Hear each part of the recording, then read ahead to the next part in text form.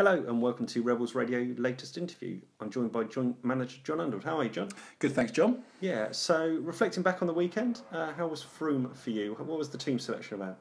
Um, obviously, we didn't change much from uh, Dunstable. We don't have a, a huge uh, number of players to pick from at the minute, um, but uh, we always wanted to give Gurkhan a few uh, a few starts for the end of the season. Obviously, Jake's suspension has made that easier. Um, and yeah, we brought him in. He did very well when he came on against Dunstable, so we wanted to give him a start. So uh, yeah, Gurkhan came in on the right, and obviously the only other change was was we had Johnny Dyer on the bench. Mm. Um, bit of a favour, uh, really, for us because um, you know with with Scott Harris out, uh, we wanted another forward on the bench. Obviously, Johnny's still registered. He, he left on on good terms, and uh, it was good to have him back with us. And um, the game kind of started quite quietly. Really, it was a little bit subdued. I was shocked because uh, you think Frome fighting for you know those vital points to try and get them safe at the bottom of the table. It just kind of started a little bit slowly for both teams. Yeah, it was a little bit of a, I guess, a non-event early on. Um, the, the, I mean, it was diff- the, the pitch was very difficult to play on. We we turned up, uh, and I actually said to Bakes, looking at it, it looked quite green. It looked, it looked, you know, looked like they they tried to work on it. Um, and we walked on it and it didn't look too bad. And then as soon as you got out into the middle, it, it was really, you know, as a lot of the pitches are this time of year, very dry, very bobbly. You know, there were several occasions in the first half. I remember one when Ed, Ed Smith had it, had an easy ball to play Chris Henry in down the left, and the ball just would not sit down for him, and he couldn't get his pass away. I think he ended up coming off his shin. Um, you know, and that does detract from the game. You know, both both ways. It, it makes it difficult to get any kind of free flowing football played. Mm. You know, any balls that are in the air, once they bounce, they bounce high, and it just makes it, you know, with a, a swirling wind as well. Just it wasn't was never going to be a classic, and uh, yeah, it, it, wasn't a great game to watch, no, to be honest. It, was, it wasn't that spectacle, and, no. chances on goal were few and far between. Yeah, they were. Um, to be fair, I thought as the first half went on, I thought we, um, I thought we certainly got on top. I thought we, we played it in uh, in stages, played some good stuff. I thought the the goal as, as scrappy as it ended up being, was from a great move down the right. Um, and and we opened them up. yeah, well. we opened up. Dan got in. I think he wanted to shoot, but again the ball wouldn't sit for him, and he ended up um, unselfishly squaring it, and it, it kind of fell nicely for, for Chris to, to prod home. So yeah, scrappy, scrappy in the way it ended up, but it did come from a very good move. So happy to be going in at half time. A goal to the good. Yeah, we felt we were worth worth our one 0 at half time. We were relatively pleased. You know, uh, you know, it was important, difficult day for defenders, and important that we did the right things defensively. And I felt we did first half. And then Frome came out second half, and it must be fair to say they, they had a bit of a go. Yeah, I mean, to be honest, we, we all heard the half times, and, and Arlesey were winning at, at Truro, and um, Banbury were we, were beating Histon. So you know they didn't need any more incentive than that to come out all guns blazing. Um, so we expected a reaction from them, um, and and they did. They improved second half. Uh, we just got a bit um, a bit penned in second half. We had a great chance with with Eddie.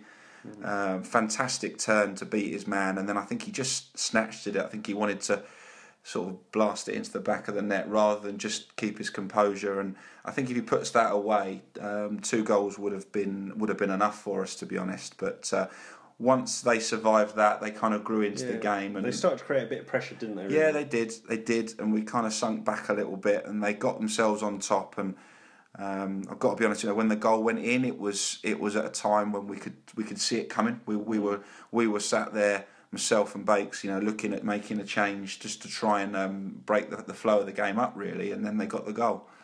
Yeah, there was uh, talking of injuries and, and, the bench. At one point, you must have been potentially looking for another goalkeeper, as there was a bit of a nasty incident where, where Luke went uh, head over heels and, and landed pretty heavily. Yeah, looked looked a pretty horrible one. You know, that's one of those he could have, you know, done his shoulder or neck or broken an arm the way he fell. I mean, no um, no blame on their players. Just one of those things. He went so high up in the air, and obviously the ground's very hard yeah, we feared the worst, and we were we were immediately. Who, who, who's going to get the gloves on? I'll be honest, not many people were putting their hands up, so um, we were going to have to make a decision on that one. But thankfully, Luke um, got got to his feet and was just a bit shaken and a bit bruised, but. Uh, nothing serious, which was um, uh, obviously great news. And after the equaliser, obviously Frome continued to press and search for that winner. Uh, were you confident that you were going to hold out for a draw? Yeah, I think so. I think to be fair, a draw was probably a, fair result. I think we were the better side first half. They were the better side second half. Uh, we didn't create enough second half to you know really to get that second goal apart from Eddie's chance. So Yeah, I think I think reasonably fair result in the end. Was it disappointing to uh, end your last home game of the season in that manner? Yeah, it was actually. I mean, uh, we were looking to win the game. You know, we, we went in off the back of a, a great comeback, great win at Dunstable.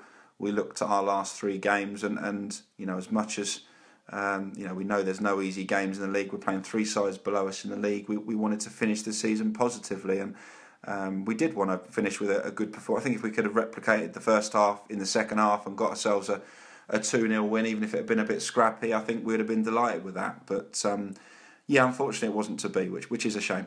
Yeah, because there was a, a, good number of fans. It was a nice day, the MyFC day. Lots of fans, decent weather. Uh, yeah. Unfortunately, the pitch didn't help out. But no, I, I, think people, anyone who was at the game, I think, could understand it. It, it wasn't easy to play kind of fast, free flowing football. Um, yeah, I'm sure there was a bit of disappointment that it kind of petered out a bit for us second half, and that's not what we wanted. But that's what happened, and um, you know we'll hope for hope for two positive performances in the away games now. Yeah, there was other results on Saturday. I mean, going to Banbury still has an impact on that relegation battle. Obviously, Frome got that point, but it still means that uh, Banbury, if they if they go and win their two games, and then we'll score some goals and claw some goals back on a on on Frome, will uh, will, will will potentially be in issues with Banbury. How do you see the challenge of Banbury tomorrow?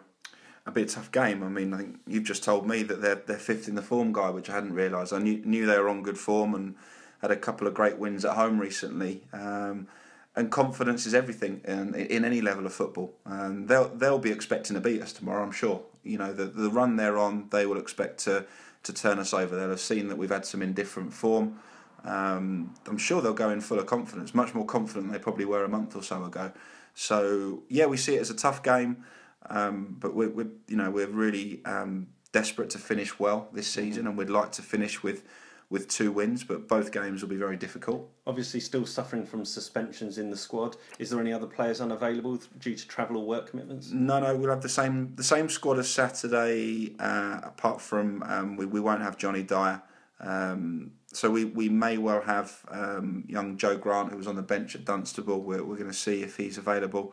Uh, he's playing tonight for, for Ascot against Binfield, so I know Bakes is going over there, and um, we'll see if we can have him as a as a fourth sub for tomorrow. But otherwise, the squad will be the same. And you say you hope for a, a, good performance. What, what does that look like to you in terms of what, what areas would you like to see some improvement on from Saturday? Well, to be fair, I, th- I thought we defended reasonably well in the game. I thought, you know, disappointing how we conceded the goal um, from a set piece. Um, but generally, I thought we defended quite well. I know you know Sean was made man of the match, which we totally agreed with. We thought Sean had a, had a great game at right back. He defended well and joined in when he could going forward. Um, you know, I thought we, we, we coped with them pretty well. Um, so, yeah, I guess in terms of improvement, creating some more chances. I mean, Chris Henry first half had a very good half. A lot of our good play came down the left uh, first half. You know, Chris on a few occasions sort of skinned his fullback and got crosses in the box. So, um, but we didn't really do enough of that second half on either side. So we'll be looking to you know, obviously create a little bit more for the front two. Um, and finally, these uh, these last couple of games are still absolutely key. There's a couple of games both tomorrow, obviously Slough versus uh, at Banbury. That's key for the relegation battle. You've also got Weymouth Poole at the top of the table. This Premier uh, season is going right to the wire.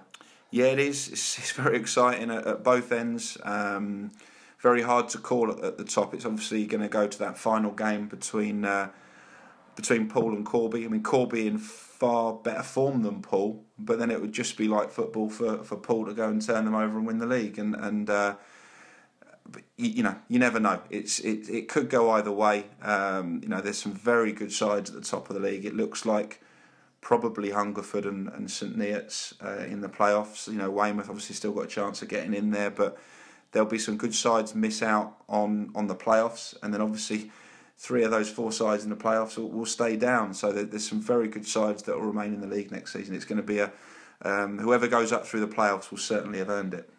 Excellent. Well, thank you very much. We look forward to the upcoming games. Uh, wish you the best of luck, and we'll speak to you later in the week. Cheers, John. Thank you.